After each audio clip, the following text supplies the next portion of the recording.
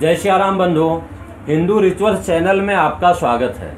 आज हम चर्चा करेंगे अपने लोगों के प्रथम कर्तव्य का। प्रथम कर्तव्य मतलब हमारा प्रथम कर्तव्य होता है माता पिता की सेवा करना। उसके बाद फिर हमारी पत्नी, हमारे बच्चे, हमारे पड़ोसी हैं, हमारा देश है, जितना भी हो सकता है हमें लोगों का कल्याण करना चाहिए। लेकिन उसके पहले जो हमारा प्रथम कर्तव्य है, जैसा कि मैंने बताया माता पिता की सेवा करना। और जब माता पिता का साथ छूट जाता है, हमारा दुर्भाग्य से वो स्वर्गधाम को प्राप्त हो जाते हैं तो उसके बाद जो उनकी पुण्य तिथि पड़ती है, वो डेट के हिसाब से नहीं, तिथि के हिसाब से मनाना चाहिए। तिथि अगर आपको नहीं पता है तो आजकल आप गूगल में जाएँगे या ज्योतिष के किसी भी उसमें साइट पे जा करके आप पता कर सकते हैं। अथवा आप चाहें तो मुझे भी आप कमेंट में डेट डाल दीजिए अपने पिताजी का और मैं तिथि बता दूँगा कि किस महीने की कौन सी तिथि पड़ेगी या हर साल आने वाली कौन सी तिथि पड़ेगी, इससे आप जानकारी पा जाएँगे। तो उस तिथि को सर्वोत्तम कर्तव्य तो ही है कि माता पिता का, के परम कल्याण के लिए और अपने कर्तव्य की पूर्ति के लिए हम पिंडदान करें। पिंडदान की विधि इसमें एक पिंडदान होता है, इसको एकोदिष्ट श्राद्ध बोलते हैं और ये मध्यान्ह काल में दोपहर में करना चाहिए। और कोई भी श्राद्ध काल दोपहर में ही होता है। और जिस दिन ये तिथि जिस तिथि को आपके पिताजी का स्वर्गवास हुआ है मध्यान्ह काल में हो, वही दिन लिया जाता है। उदया का इसमें महत्व नहीं है, इसमें मध्यान्ह काल का महत्व है। उस दिन जो है श्रद्धा पूर्वक श्रद्धया सत्य माप्यते श्राद्ध जो है श्रद्धा पूर्वक करना चाहिए।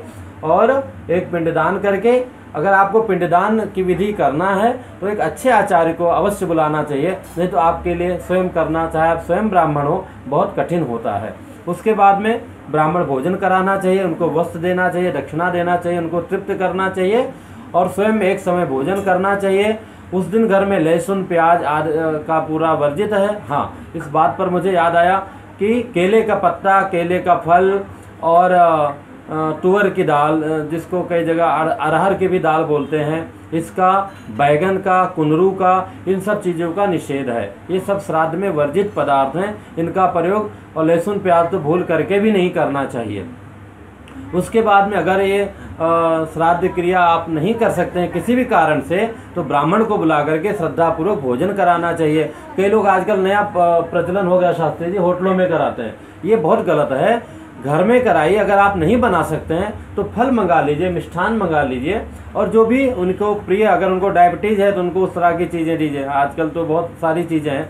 श्रद्धा कीजिए लेकिन वो भी समझदारी के साथ कीजिए। तो ब्राह्मण को अगर आप अन्न नहीं करा सकते हैं, किसी भी कारण से घर में बनाने वाला नहीं है तो बाहर का मत मंगाइए। बाहर का वो चीज़ें मंगाइए जो चल सकता है, जैसे फल है, मिठाइयाँ हैं, ड्राई फ्रूट है, दूध है, ये सब ब्राह्मण को खिलाइए। और अगर आप ये भी नहीं कर सकते हैं तो सीधा अन्न निकाल करके और उसका दान करके ब्राह्मण को श्रद्धा पूर्वक दे देना चाहिए। अगर आप घर में भोजन कराते हैं तो सबसे पहले ग्रास, गई गौ गौ माता के लिए निकालना चाहिए, कुत्ते के लिए निकालना चाहिए, चिड़ियों के लिए निकालना चाहिए पिपलिकाओं के लिए निकालना चाहिए।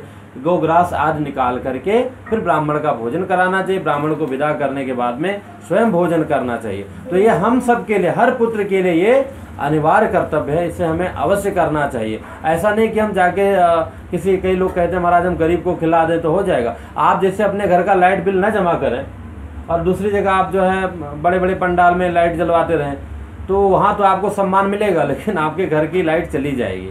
तो आप बाहर करें, जो भी आप बाहर दान करना चाहते हैं, लोगों का कल्याण करना चाहते हैं, करें, पर सबसे पहले अपने घर का लाइट बिल जमा करें। आजकल के कुंडलियों में बहुत सारी जो है पित्त दोष मिलते हैं, यही सारे कारण हैं।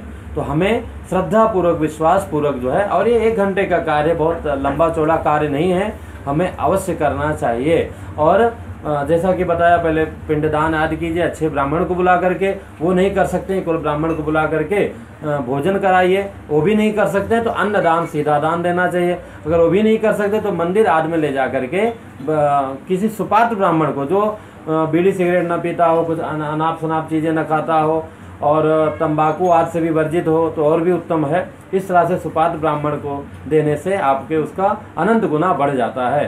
तो जब भी माता पिता की हो। दूसरी बात, माता के श्राद्ध में ये भी प्रचलन है कि ब्राह्मणी भोजन कराते हैं लोग, कि जो है, स्त्रियों को। बहुत अच्छी बात है, लेकिन ब्राह्मण भोजन आवश्यक है। ब्राह्मण जो है, ब्रह्म का स्वरूप माना जाता है, और जब हमारे माता पिता दिवंगत हो जाते हैं तो उनकी स्त्री और पुरुष संज्ञा उनकी खत्म हो जाती है, वो जीव मात्र हो जाते हैं। इसलिए ब्राह्मणी को खिलाई लेकिन ब्राह्मण को भी अवश्य भोजन कराना चाहिए, उनको संतुष्ट करना चाहिए। स्वयं में नियम पूर्वक रहना चाहिए। तो ये आपके बहुत बड़े कर्तव्य का पालन होगा और ये अनंत बड़े बड़े यज्ञों का इससे आपको पुण्य मिलता है। तो आपको उचित लगे तो अपनों में बात अवश्य बताएँ, शेयर करें और क्या बोलते हैं उसको सब्सक्राइब कीजिए और हम भी अपने कर्तव्य का पालन करने जा रहे हैं। मुझे लगा कि आप लोगों से अवश्य चर्चा करनी चाहिए, इसलिए हमने आपसे निवेदन किया। आपको अच्छा लगे तो आप उसमें बढ़ाइए। और, देखते रहिए, फिर हम आगे अगले विषय पर जल्दी ही आपसे चर्चा करेंगे। जय श्री राम।